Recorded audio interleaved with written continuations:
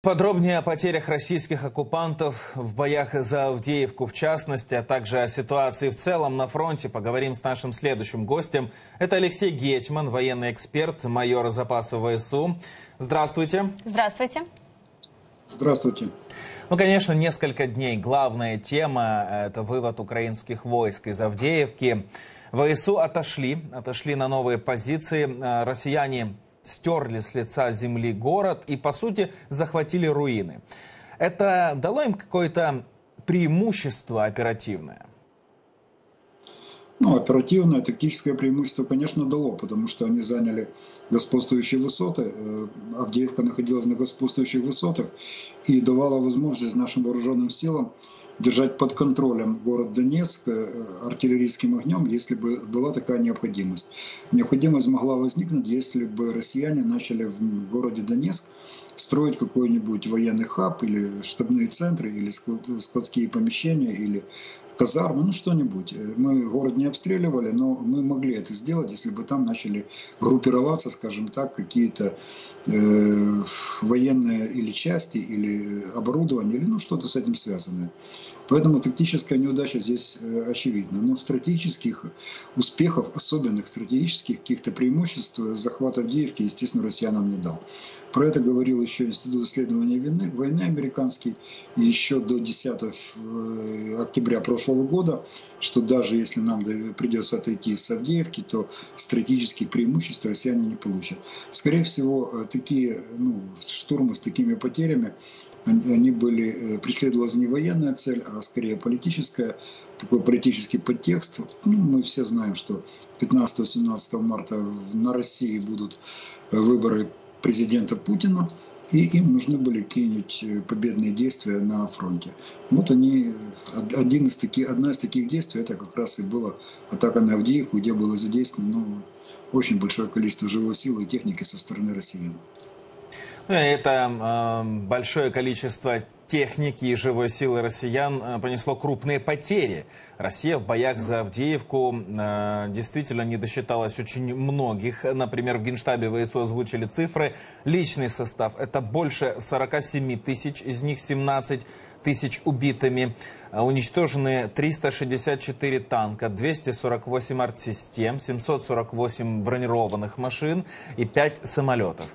Э, штурмовали россияне позиции, украин... украинские позиции в прямом смысле по трупам своих же солдат. И вот после таких масштабных потерь Шойгу радостно говорит Путину, им удалось за 4 месяца взять под контроль 31,75 э, квадратных километра. Это первая победа ну, в принципе, да. Первая победа – это победа, когда она э, сродни поражению.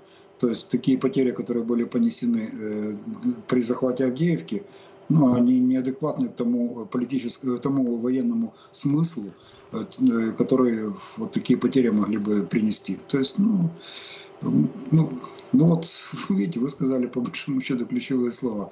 Шойгу радостно доложил э, Путину про, о том, что вот э, такие успехи. Про 47 тысяч э, потерь э, убитыми ранеными по про потерю практически танковой армии. Мы же э, помним, как они хвастались своей первой танковой армией, что она насчитывает 500 танков, и она может там чуть ли не до Ла-Манша дойти, или даже до Португалии. Почти 400 танков было уничтожено, не считая другой тяжелой техники. Это, по сути, уничтожена танковая ну, как минимум механизированная армия. Это, ну и по количеству людей. Армия это больше 40 тысяч, то есть тут 47. Поэтому ну, потери неоправданные с военной точки зрения. С политической, ну, радостно доложил э, министр обороны, радостно доложил э, Верховному в Кремле. Ну, вот что тут, что тут, что тут скажешь? Так или иначе, да, Авдеевку э, вооруженные силы Украины оставили, вышли из нее. И, кстати, президент э, США Джо Байден обвинил конгрессменов, которые а, не дают принять пакет помощи Украине, в том, что в том числе и из-за них украинским войскам пришлось а, вывести силы, потому что не хватает вооружения. Но пока американцы рассматривают все еще этот законопроект, на днях о новом пакете военной помощи заявила Германия, пакете более чем на миллиард евро. Как это поможет уже сейчас украинским военным и какими вообще объемы военной помощи должны быть, чтобы война перешла на следующий новый уровень из оборонительной уже в наступательную? Ну, во-первых, по поводу э, конгрессменов, давайте не решить на всех конгрессменов. Э, решение уйти в, на каникулы принял одно, э, одноособно спикер Нижней палаты, палаты представителей, это Майк Джонсон, Джонсон, который, ну это вообще удивительно, это, как говорят, выборки демократии, когда один человек может заблокировать помощь во время войны трем, трем странам Украине, естественно, Израилю и Тайваню. Ну, это просто крайне удивительно. Э, он, он такими действиями, ну, мы понимаем, там, это связано с Трампом, это так называемая группа трампистов, они хотят добиться своих политических целей, связано это с границей с Мексикой, но э, имидж Соединенных Штатов очень сильно пострадал, потому что теперь их рассматривают как не совсем надежного партнера в Европе и во всем мире. Это он оказал медвежью услугу, э, даже, э, может быть, в будущем президенту Трампа такими действиями. Теперь про помощь. Э, очень неплохо на последней беспековой конференции в Мюнхене э, мы слышали заявление с Дании, заявление с Чехии о том, что э, нашлось у них необходимое, ну не необходимое, а достаточное количество снарядов, это э, почти полмиллиона, точнее больше, чем полмиллиона изданий, не говоря уже про их артиллерийские системы, которые они готовы полностью нам передать, все, что у них есть. Ну, естественно, 800 тысяч снарядов вид Петра Павла, ну не, не, не от президента, а от, соответственно, Чехии. Ну, удивительно немножко тоже это было слышать, ну, приятно, но удивительно. То есть миллион снарядов э, искали нам почти год и не смогли собрать, и смогли собрать 524 тысячи, и то непонятно, когда они будут. А здесь за, не, за несколько дней э, удалось найти миллион триста снарядов, э, ну, разного калибра, там не только 155-го, там и 122-го, но это, знаете, я думаю, что когда наши друзья из Европы увидели, как может действовать Соединенные, могут действовать Соединенные Штаты, ну, я так понимаю, им стало реально страшно. Поэтому они решили ну, Дания, отдать всю артиллерию Украине, потому что ну, страшно реально, что если нам не удастся, а мы начали нести определенные потери и э, терять населенные пункты на э, войне, то они поняли, наши европейские друзья, что может дойти дело и до них, и тут они уже, тут уже не до сэкономить, где-то припрятать, сразу все находится. Ну, это хороший для нас сигнал, насколько это быстро может произойти, но тут трудно сказать, тут уже должны стороны договариваться про логистику, но особенно это сложно будет сейчас с блокированием Украины-польского, Украины-польской границы. Ну, много очень вопросов, но как минимум про это уже сказано, что есть э, необходимое, ну, а не необходимое, э, достаточно неплохое количество снарядов, плюс э, помощь со стороны Германии, со стороны Франции. Ну, надеемся, что это появится все, что нам нужно, не к лету, а ну, хотя бы к весне. Ну, кстати, еще по поводу помощи от Германии. Глава МИД Украины сказал о том, что будет э, возможное получение Киевом ракет «Таурус». Дмитрий Кулеба в Мюнхене на конференции напомнил, что любая дискуссия о поставках Украине новых видов вооружений начиналась с отказа правительства Германии. Напомнил он, что они медлили э, и с передачей Киеву танков «Леопард», но потом все-таки передали. Э, как думаете, вот с Таурусами будет такая же история? Так она уже такая же. Это уже тянется достаточно долго. Давайте вспомним, что говорил Шольц, э, канцлер Германии, про то, как они солидарны с Соединенными Штатами. И если Соединенные Штаты будут поставлять нам определенное оружие, одно относительно дальнобойное, это не считается дальнобойным оружием, это ракета маленькой и средней дальности, ну, по международной классификации. Ну, американцы поставили нам соответствующее э, оружие, и тогда немцы заняли позицию, что э, необходимо э, обучать наших операторов, которые будут управлять этими ракетами, чуть ли не 18 месяцев они называли. То есть больше, чем э, запустить ракету, получается, с самолета, больше, чем научиться управлять самолетом. Э, но когда это тоже было поднято на смех, э, была, была еще одна аргументация, что надо, они не могут заниматься переводом с немецкого на украинский, поэтому нам нужны операторы, которые будут знать досконально немецкий. Ну, это уже вообще, как говорится, простите за такой бульварный сленг, но на голову не налазит. Ну, потом еще были какие-то... А, потом были разговоры про то, что они э, хотят получить гарантии, что эти ракеты не будут использоваться по территории Российской Федерации, э, и поэтому они готовы были их переделать, ограничивая дальность полета, то есть тогда они зачем мне нам нужны, если они будут летать на 100 километров, спасибо не надо. Ну, много чего. Но потихонечку даже Германия уже начинает э, бояться, я так понимаю, того, что может произойти если у нас будут какие-то неудачи на российско-украинской войне, насколько это будет опасно непосредственно для Германии.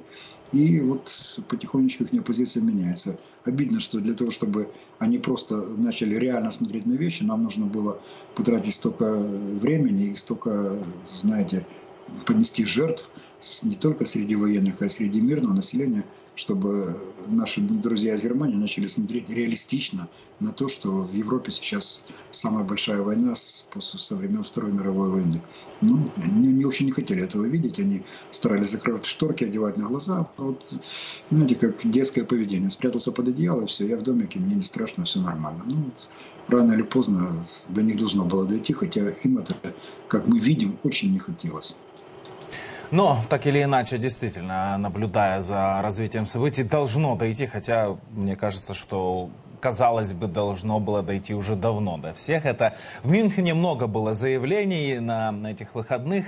Например, премьер-министр Дании Мэтте Фредериксен а, сообщила, что ее страна решила передать Украине всю артиллерию. Да, вы говорили уже об этом. А, Там а... много артиллерии, можно будет сказать пару слов про это, потому что уже появились такие позитивные, скажем, реакции, что сейчас там, ого, это не вот, это 62 единицы ориентировочно. То есть это приблизительно 24 самоходных э, артиллерийских установки М109 155 калибра. Это 6 гаубиц калибра 122 мм.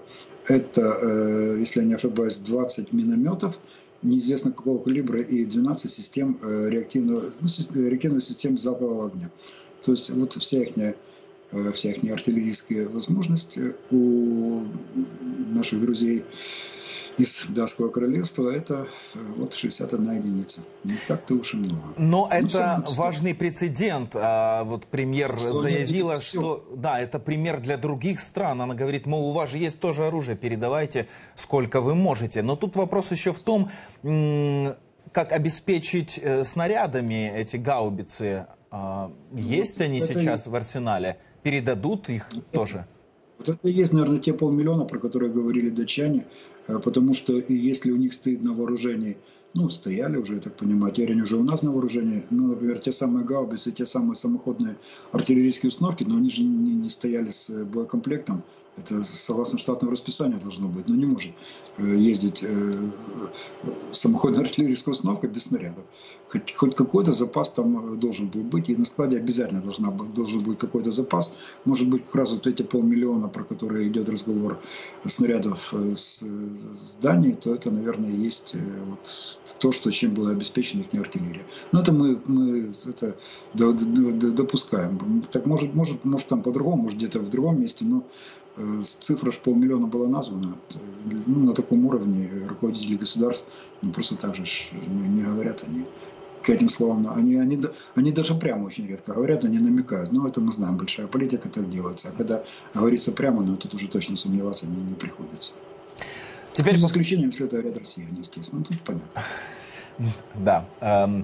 Уже официально стартовала коалиция дронов. Ее возглавляет Латвия, Великобритания. В Украине формируются новые силы беспилотных систем – и вот вчера вице-премьер-министр Михаил Федоров э, заявил, что украинские дроны, аналоги ланцета российского, прошли предварительное испытание и э, готовятся к первым боевым уже испытаниям. Э, какой эффект можно ожидать от них на поле боя? Ну, э, очень важно, э, очень важно их боевых испробовать, потому что россиян э, достаточно неплохо организована система электронной борьбы, РЭБы, и если эти ланцеты могут, ой, ланцеты, ну, наши ланцеты, бог с ним, наши БПЛА могут обходить или быть не вразливыми для российских рэпов, то тогда это серьезная, серьезная будет помощь нашим войскам в обороне, даже в каких-то контрнаступальных действиях. Это, мы понимаем, это БПЛА, небольшой радиус действия. Мы в последнее время, ну, может это складывалось такое ощущение, мы основную увагу уделяли э, как раз э, беспилотным летальным аппаратам, которые могут э, преодолевать расстояние в тысячу и больше километров. Ну, и мы видим результаты таких действий и в Санкт-Петербурге, и в Москве, и ну, где, много где мы видим как горят их нефтеперерабатывающие станции, как взрываются заводы, которые связаны с военно-промышленным комплексом. Но такие дальнобойные беспилотники, естественно, ну, никто не будет использовать на расстоянии там, в несколько десятков э, километров. Поэтому не дальнобойная, но это будет нам э, помощь э, при голоде артиллерийском, при недостаче артиллерийских снарядов, это было бы очень, очень было бы неплохо. Пока раскачаются наши партнеры, пока мы увидим эти миллион триста снарядов на наших, на наших артиллерийских системах, то это, по крайней мере, пока это было бы неплохо. Ну и дальше это дополняло бы. Дело в том, что эти Э, беспилотники, они же отличаются от артиллерии, артиллерии они, они не такие мощные, не можно сделать э, такой э, массованный обстрел какой-то территории, где есть скопление войск, но как высокоточное оружие, ну, ну, многие из нас смотрят с удовольствием эти видео, как они атакуют танки, как они атакуют бронемашины, живую силу, э, недальнобойные беспилотники. И, в принципе, ну, насколько они точно, ну, залетают не просто в танк, в люк танка, если он открытый. То есть это очень сильно поможет нашим войскам. И артиллерия, ну, для, для, того, чтобы, для того, чтобы преодолеть снарядный голод в артиллерии, можно как раз использовать ланцеты. Ну, не ланцеты, а наши беспилотники. Ну и потом, естественно, э, это может быть рассматриваться как высокоточное оружие точечными ударами. Это тоже будет ну, серьезная, серьезная помощь. Ну, артиллеристы тоже говорят, что без дронов им намного сложнее было бы выполнять свою работу. Это очень важный такой тандем. И в рамках коалиции дронов Великобритания и другие союзники планируют передать Украине новые дроны с поддержкой искусственного интеллекта.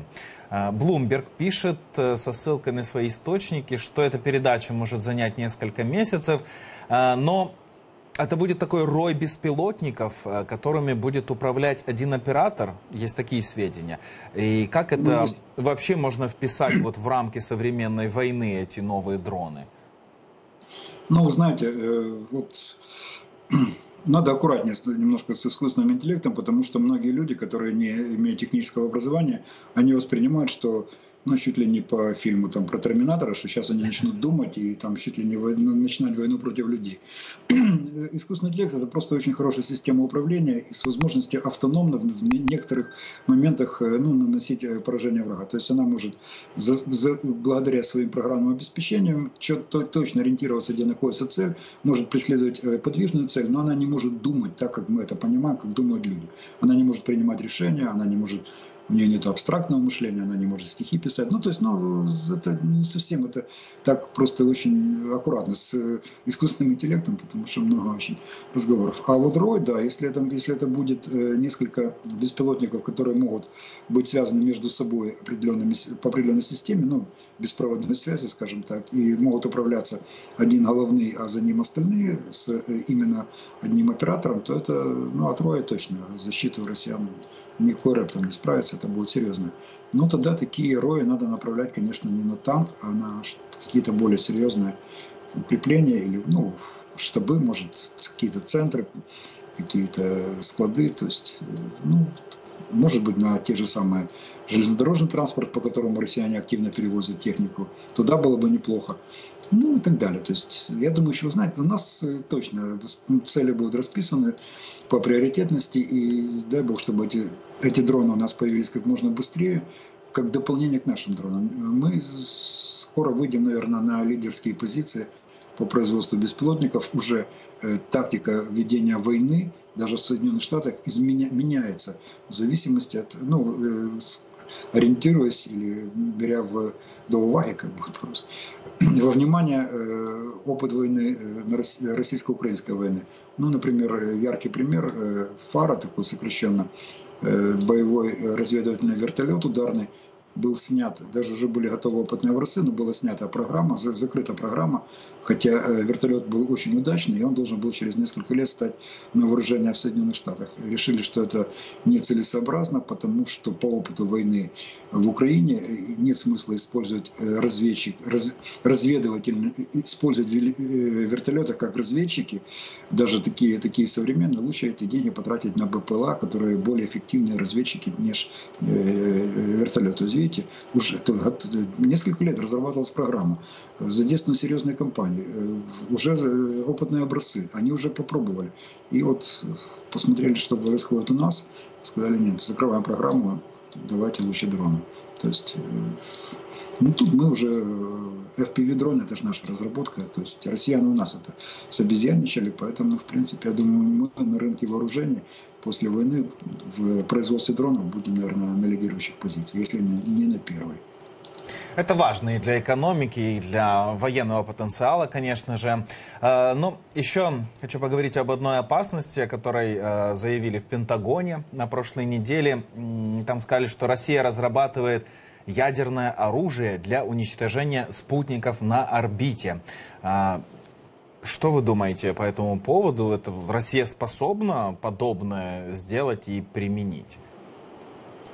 Знаете, мне кажется, что это было сказано как раз э, со стороны Соединенных Штатов, чтобы немножечко встряхнуть э, наших европейских партнеров. Э, ну, нет у них такого оружия, которое могло бы эффективно действовать в космосе, уничтожая спутники. Ну, ну, ну это глупость, честно. Потому что уничтожить спутники можно только ну, взрывной волной там уничтожить. Простите, их нельзя, потому что там нет никакой взрывной волны в космосе только электромагнитным импульсом, который э, не распространяется на большое расстояние. Но это в стиле Скобеевой, э, не Скобеева, Симонян, которая предлагала взорвать э, бомбу над Сибирью для того, чтобы электромагнитный импульс, который возникает при ядерном взрыве, разрушил все системы связи в Европе и положил мобильную связь. Ну, ну то же самое, но Слушай, ну космос, космос громадный, там большие расстояния. Э, это должен быть очень мощный взрыв ядерный для того, чтобы зацепить какой-то спутник, который на сотни, может, на тысячи километров от этого места взрыва, они же, раз, ну, они же не летают один за, за другим. Ну, мне кажется, что это, это больше похоже на ну, такое, какие-то пропагандистские разговоры. Технически, ну, не, теоретически, да, можно электромагнитными импульсами уничтожить системы связи, которые идут через путь. Ну, надо взорвать штук, ну, не знаю, сотню, наверное, и там, ну, это доставить в космос э, э, ядерный заряд, ну, а какая разница, что загрузить в ракету? Космонавта или, или бомбу? Вес, там, примерно одинаковый. То есть тут в этом проблем нет. Но рассматривать это как систему уничтожения систем связи э, в глобальной мировой сети, ну, это, знаете, это, это удобно медведь. Вот это он может накатить. Да, да, да, да, да. Мы, мы слышали его заявления очередные об ядерных угрозах на прошлой неделе, да. Но, тем не менее, россияне продолжают э, свой военно-промышленный комплекс разрабатывать так или иначе. Вот появилась информация о возможном применении новой ракеты, э, ракеты Х-69, э, носитель для нее самолет Су-57. И говорят, что дальность поражения этой ракеты 290 километров, а скорость полета до 1000 километров в час. Вот год назад Международный институт стратегических исследований говорил, что эта ракета Х-69, вероятно, находится на финальном этапе разработки или уже стадии производства. И вот сейчас говорят, что ее скоро, возможно, будут использовать. И вот что это за ракета?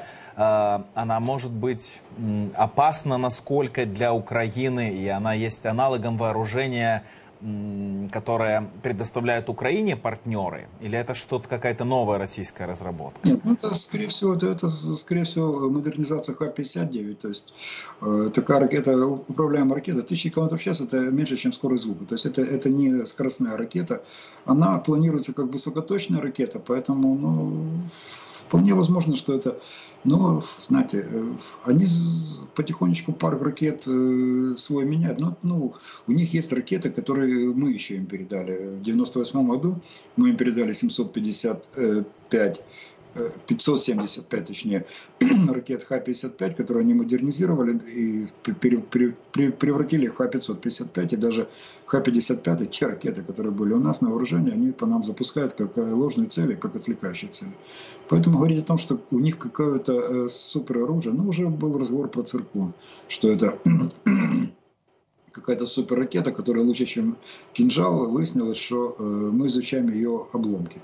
Но если мы изучаем ее обломки, значит, она не долетела туда, куда надо, значит, мы ее сбили.